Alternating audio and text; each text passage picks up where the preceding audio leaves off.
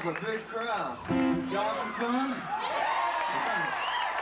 We'd just like to start off our uh, portion of this uh, concert by saying that uh, we're going to have a good time, but we want to make sure that you know that all the praise and the glory should properly go to our Lord Jesus Christ for making it possible.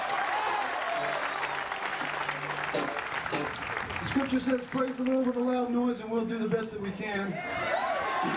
Uh, right now we're going to do a song uh, that talks about ego, it talks about pride, talks about an actress who uh, spent her life living for the things of the world.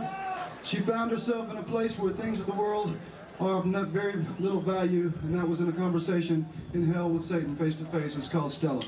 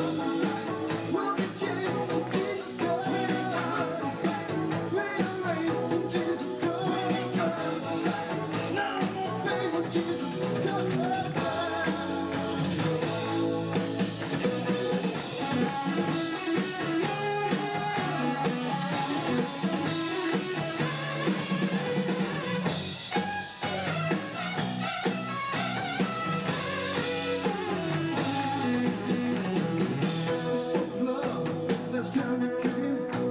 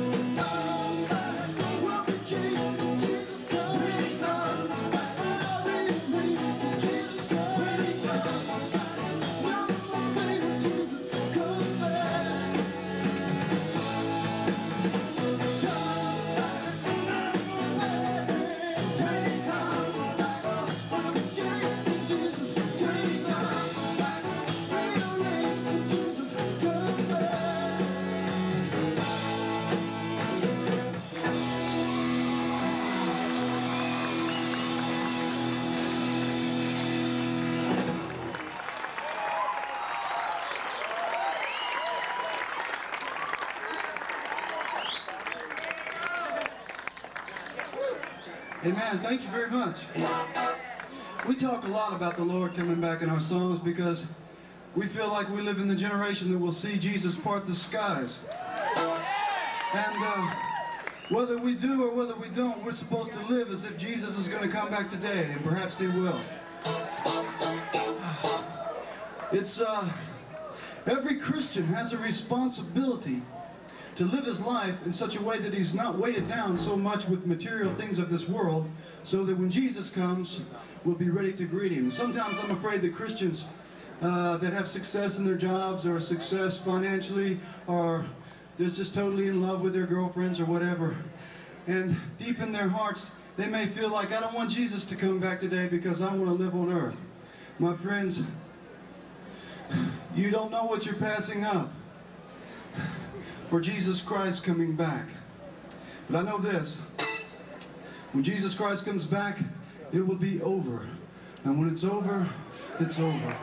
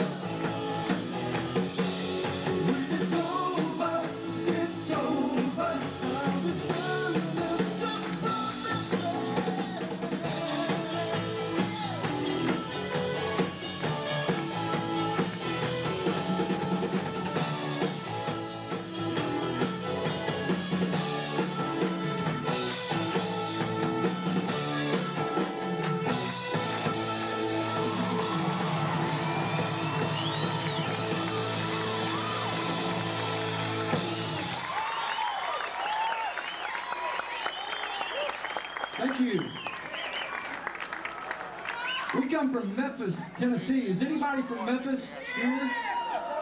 Thanks, Mom. Appreciate it. Memphis is an interesting city in a lot of ways. One thing is, in Memphis, Tennessee, we have more, more churches than gas stations.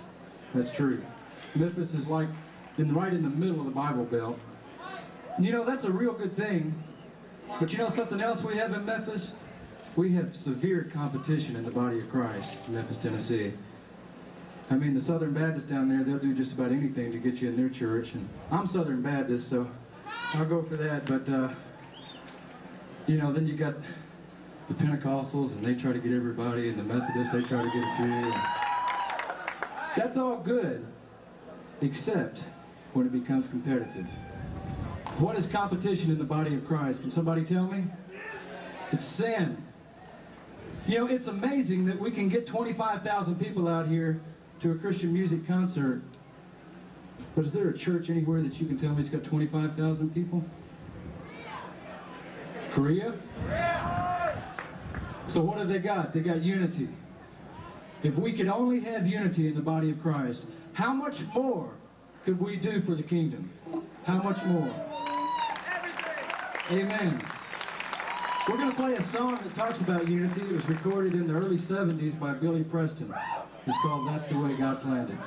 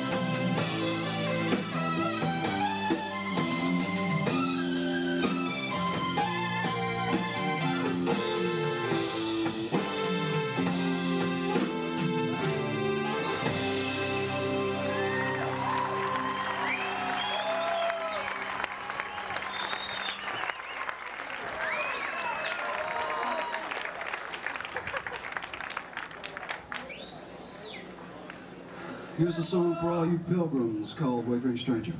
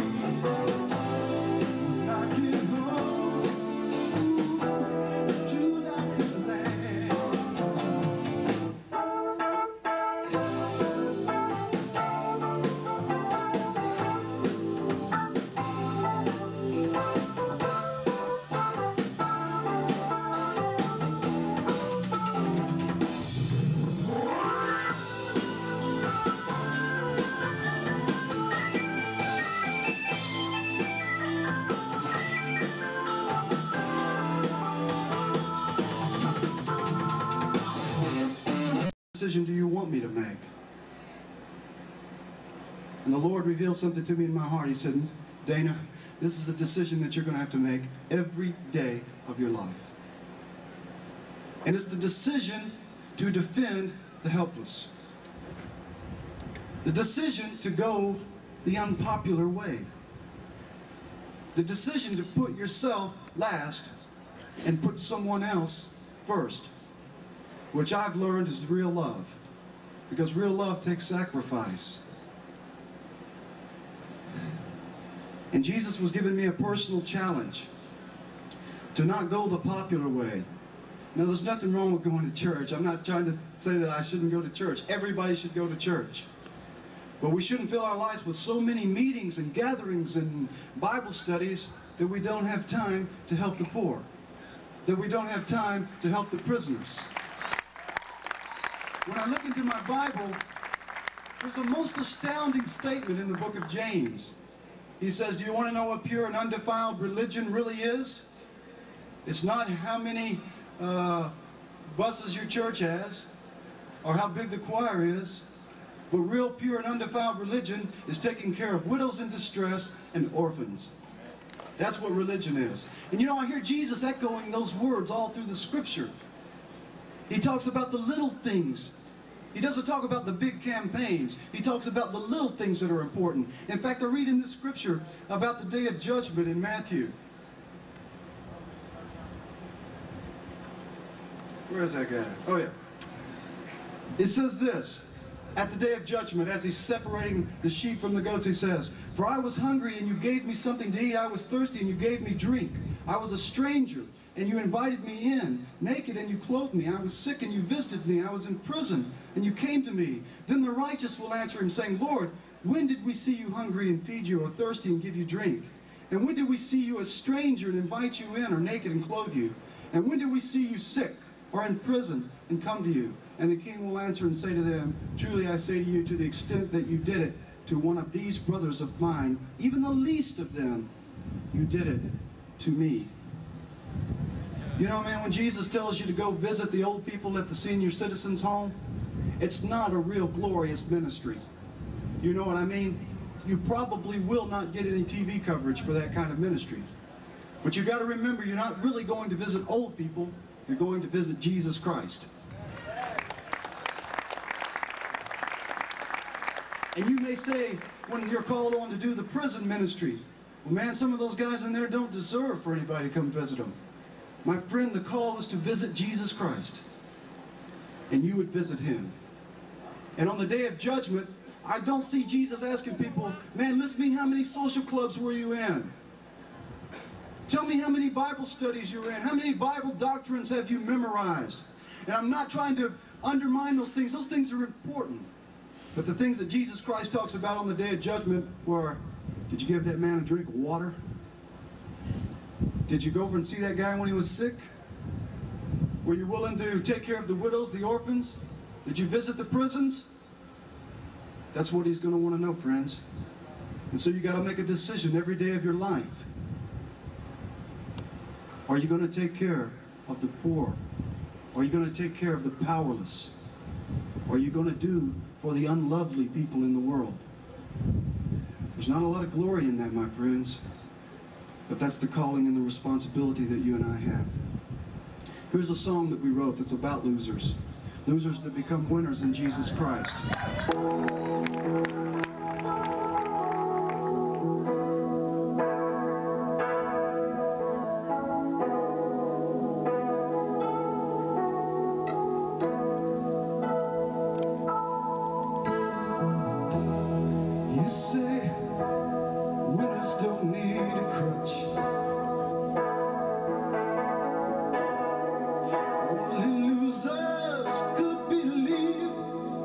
Such.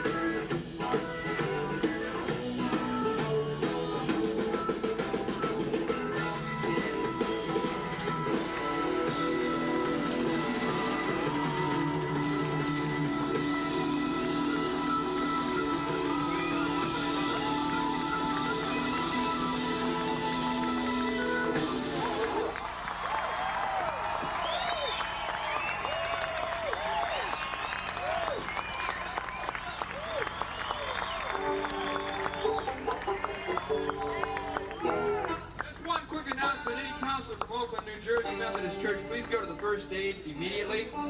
From Oakland, New Jersey Methodist Church, first aid. Lord to us today. We've never played here before, and I thank you. You've been very kind to us.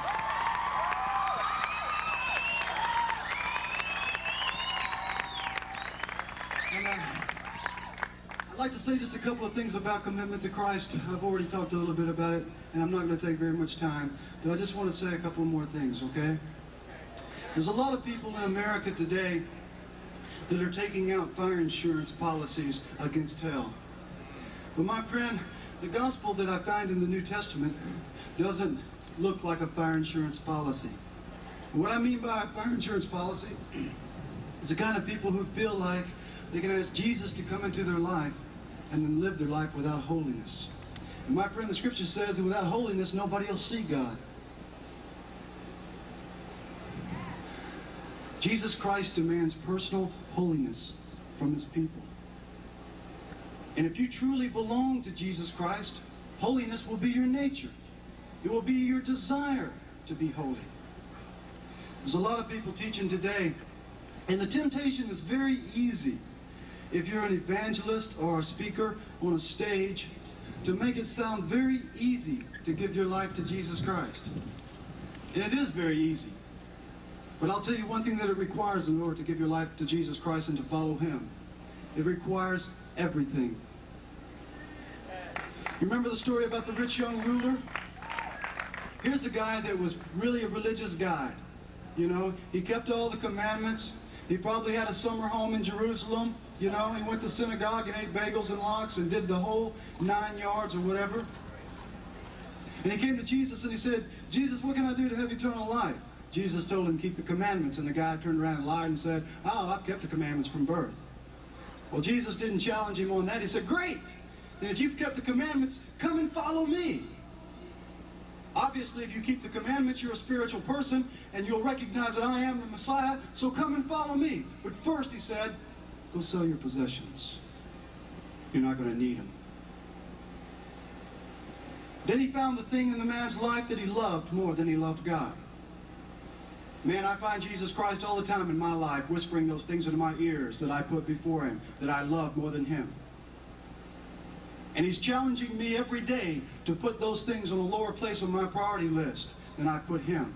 Because Jesus Christ demands, my friend, to be first.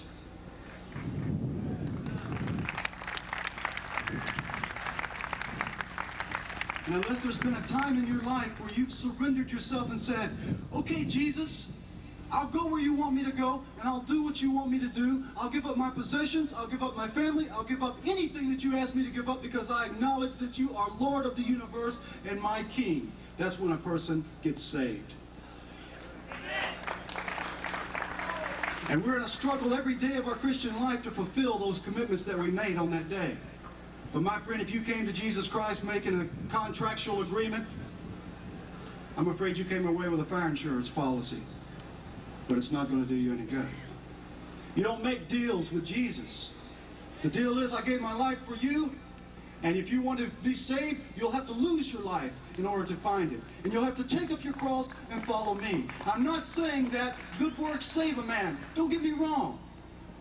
A man is saved by faith, but his faith is demonstrated by his works. And that's why I say that we need to be holy, my friends. Now let me tell you, let me, let me make a practical application. What does it mean to be holy? It means to turn off the television set sometimes. Does it not? It means being obedient to your employers and serving him like you would serve Christ. Does it not mean that? Yes, it does. It means witnessing in places where Jesus' name is not very popular except for in a cuss phrase. It means a lot of things that cost you a lot. You have to put yourself aside and make Jesus Lord and Master. And if you've got any other deal with Jesus Christ other than that, you've got a bad deal, my friends. And I'd like for everyone who is in this audience that hears my voice today, I'd like for you to know when you leave this place that you know Jesus Christ is your Savior. And that you're not offering anything less to Him, but everything. Because that's what He demands of you. I'm not saying it's not a struggle. It's a struggle. We have to reevaluate every day. I have to rededicate my life to Jesus every day. I used to uh, go to a Southern Baptist church and they had an emphasis on walking down the aisle. There's nothing wrong with that. But we, every time we'd have rededication, I'd show up down in the front of the church, and the pastor finally got sick of it and said, Key, what do you keep coming down here for? I said, I have to get right with God. He said, well, you don't have to rededicate your life once in a while. I said, well, when I read the scripture, it looks like I got to rededicate my life every day.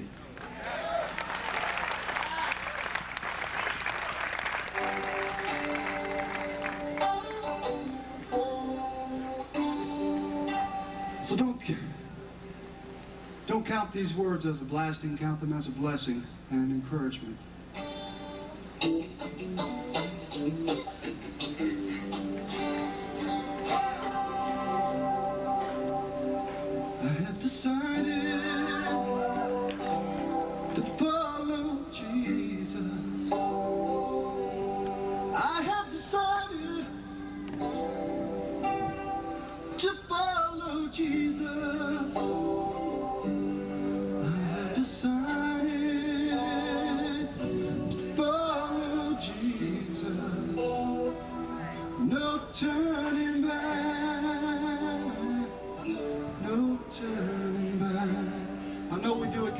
Strange, just try to follow us.